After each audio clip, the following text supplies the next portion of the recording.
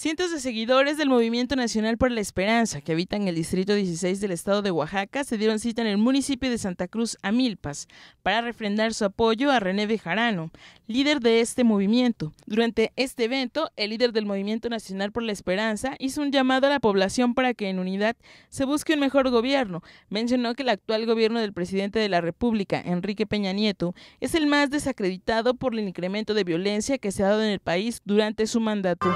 Y en Oaxaca, por desgracia, es uno de los estados donde crece la violencia, particularmente en contra de luchadores sociales y políticos democráticos y de izquierda.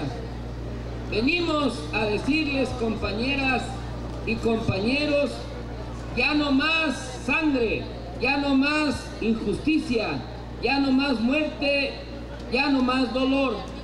Hagamos entre todas y todos el cambio real, el cambio de fondo para Oaxaca y para el país.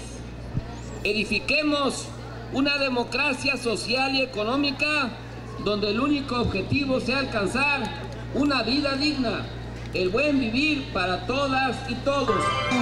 Y hemos visto que nuestros pueblos se transforman y nuestras gentes viven en mejores condiciones por el buen vivir para seguir adelante y firmes con el movimiento nacional por la esperanza, que es nuestra bandera que nos da identidad.